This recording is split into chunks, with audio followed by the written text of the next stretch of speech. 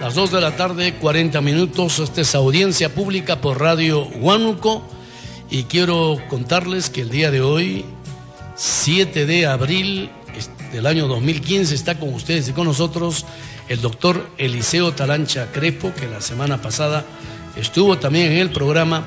Le damos una cordial bienvenida. Él es uno de los defensores que tiene Huánuco y este es su programa Audiencia Pública y yo estoy abusando de su gentileza y lo estoy llamando ya muy seguido. Está en el programa, me va a disculpar, pero su aporte cultural, su aporte educativo y su aporte guarmuqueñista es muy importante, sobre todo para la comunidad que lo está escuchando a nivel nacional e internacional. Muy buenas tardes al doctor Eliseo Talancha Crespo. Eh, muy buenas tardes, mi querido amigo eh, Esteban Soriano y primeramente eh, quiero unirme seguramente al sentir de la colectividad guanuqueña en expresar y reconocer nuestra sincera felicitación por este intenso trajín en la labor periodística y siempre tratando de formar eh, objetivamente corriente opinión en favor del desarrollo de, de de realidad. Eh, saludamos este nuevo aniversario de, de su espacio de audiencia pública y conocemos muy, de cerca sus valiosas contribuciones en favor de, de así que para nosotros siempre es un grato placer conversar con usted, estar en sintonía con la colectividad huanuqueña, y aquí me tiene siempre a sus gratas órdenes. Doctor Eliseo Talancha, mañana audiencia pública cumple 24 años en el aire, así que ya se imagina usted 24 años de trajín periodístico, muchas veces ganando amigos y también, como no, enemigos. y muchas veces. Bueno, eh, eh, eh, yo, yo creo que es mejor ganar amigos, es mejor leal, ser leales y fieles a la causa de lo que uno piensa, es mejor echar raíces en, en, base a sus principios.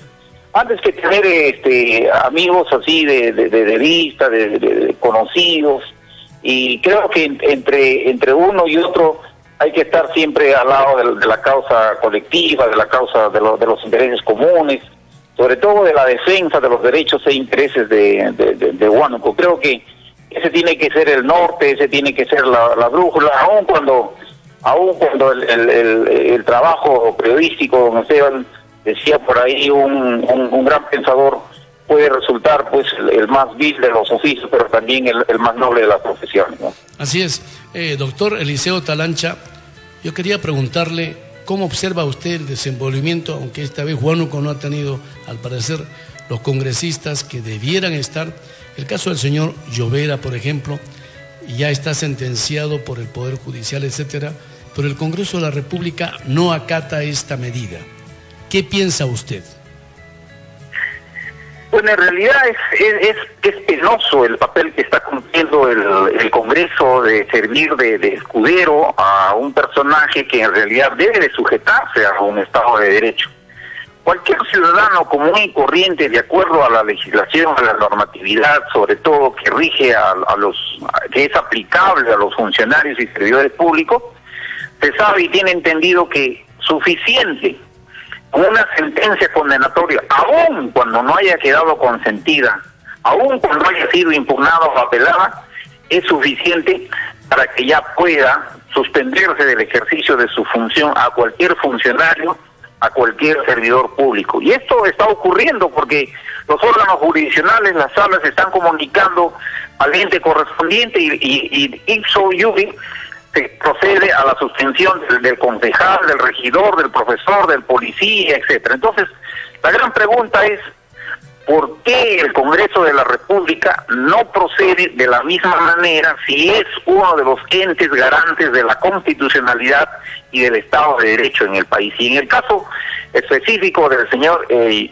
eh, Llovera, lamentablemente pues esto contribuye a seguir pensando de que estamos frente a una institución absolutamente desacreditada en la que rige penosamente aquel, aquel aquella frase Otorongo no come eh, Otorongo.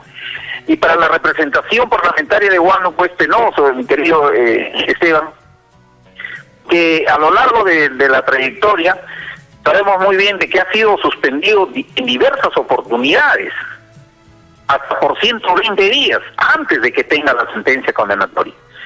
Y digo que es penoso para la representación porque se entiende que el congresista es un intermediario, es un es, una persona que sirve de nexo entre eh, la administración pública y la y la sociedad eh, civil para impulsar eh, una serie de iniciativas legislativas, para impulsar una serie de gestiones, para cumplir sus labores de, fiscalización. Y en este y en este específico caso del señor eh, Llovera, lamentablemente Huánuco ha sido privado de un parlamentario más, de un representante más. Y yo quiero yo quiero contar un testimonio que, que para mí ha sido eh, un poquito eh, de, penoso recuerdo. Cuando se produjo el, caso de, de, Puelles o el caso Cotos, en las cuales modestamente hemos, este, hemos en, cierta moda contribuido en su defensa, y hemos tenido que recurrir a algunos congresistas de otras regiones, sencillamente nos han dicho, oiga, ¿y usted por qué no, por qué no recurre? ¿Por qué no recurre al, congresista de su región? Y sencillamente, pues, el, congresista de la, de la región uno de ellos está, está, está privado del, del, desempeño porque está suspendido. Entonces, no por el comportamiento y por la conducta de ese mal parlamentario, de este impresentable congresista, la defensa de los derechos e intereses de Huánuco se puede ver mermado, se puede ver recortado, se puede ver privado. Y aquí creo que debe generarse otros mecanismos para que el accesitario, la persona que, que, está en, el lugar, pueda pues ingresar, porque eh, prácticamente si hacemos una operación matemática de cuántos cuántos días, cuántos meses ha estado suspendido prácticamente Huánuco no ha tenido la representación parlamentaria que corresponde, al margen de que aún estando en, el escaño no se ha hecho un trabajo que realmente sea visible, importante, que trascienda y que sea relevante para el desarrollo de, de, Esa es una de las reflexiones que nos genera pues eh, actualmente la representación parlamentaria que tiene Huánuco, ¿no? Y bueno, ya estamos en una en una etapa eh, electoral y ojalá la población huanuqueña una vez más sepa elegir a sus verdaderos y legítimos representantes. Doctor Eliseo Talancha Crespo, quería hacerle una pregunta hace mucho tiempo porque me parece haberlo escuchado durante la campaña electoral pasada. ¿Qué opinión tiene de la señora Luzmila Templo Condeso? Bueno, eh, mire, Esteban, yo una tengo pregunta, una pregunta complicada, ¿no?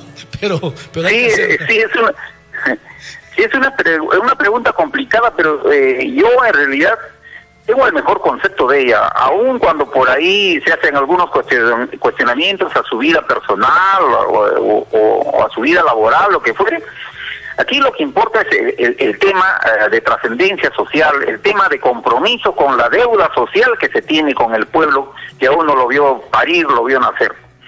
Yo creo que desde ese punto de vista, pues mira, Templo eso, aún a su edad, se ha entregado y se sigue entregando en el silencio y bajo el anonimato en favor del desarrollo de Guano. Ella no necesita ser autoridad. Yo tengo entendido de que hace trabajo de filantropía, hace trabajo de, de ayuda ayuda social y estoy plenamente convencido. En el hipotético caso que haya ido a la, nuevamente a la presidencia de la, región, estoy bien convencido que ella no hubiese echado mano al Tesoro Público, al erario nacional, para hacerse pagar en monumentos o, sostener planillas eh, doradas. Y es que ahí se va con vocación de servicio, se va, se va a, entregarse, a, pagar la deuda social que cada uno tenemos con nuestro pueblo. No se va pues a buscar un botín como aves de rapiña, a, querer solucionar sus problemas personales, no. Se tiene que ir sencillamente a hacer labor eh, social y en esa medida nosotros creemos de que Luzmila Templo eh, Condeso eh, en, el, en el silencio y en el anonimato está cumpliendo un, gran trabajo y yo eh, espero que en algún momento la población, la sociedad guanuqueña eh, sepa reconocer esto, ¿no? y sobre todo en, vida, en la medida en que se trata de una persona que, es demócrata y que tiene mucha identificación y, mucha sensibilidad social y humana. Yo le hacía esta pregunta porque hoy me encontré con Félix, el que fue conserje de la presidencia del gobierno regional. Él me decía hoy que ahora está en otra gerencia trabajando con la gerencia de infraestructura y obras y me dijo, de todos los presidentes con los que he trabajado, para mí la mejor ha sido la señora Lumila Templo. Y creo que coincide con lo que usted manifiesta, doctor Eliseo Talancha. Y yo creo que aquí hay un, aquí hay un detalle, este, eh, estimado Esteban, aquí hay un detalle, ¿no? Y yo como, como, como abogado, como, como, como profesional del derecho, puedo decir que casi todos los presidentes que hemos tenido, los presidentes regionales, eh, los funcionarios que han estado desde el CETAR, de la Corte, de, la región Huánuco, casi todos han desfilado en los tribunales de justicia. Casi todos se han visto imputados por la comisión de delitos de especulado, malversación de fondos, abuso de autoridad, etcétera. Pero personalmente, por la información que manejamos, no sabemos si en alguna oportunidad se le ha sentado en el banquillo de los acusados a doña Luzmila Templo para reclamarle por la comisión de algún delito de, de, corrupción, de, de peculado, de, malversación de fondos o algún delito contra la administración pública. Y esto dice mucho del trabajo que haya ah, desarrollado ¿no? Eh, de este, el, gobierno eh, regional. Yo lo que reclamo es que las, nuevas generaciones, los nuevos funcionarios, los nuevos servidores, tengan como espejo, como modelo esta, e, esta actitud, ¿no? Tengan como, como, como modelo esta filosofía de vida, ¿no? Que inspira a doña Luzmila en la medida de que sirve para, para, para tenerlo en cuenta de que es necesario cumplir la, deuda social y estar al servicio del Estado y no poner el Estado al servicio de, uno. De eso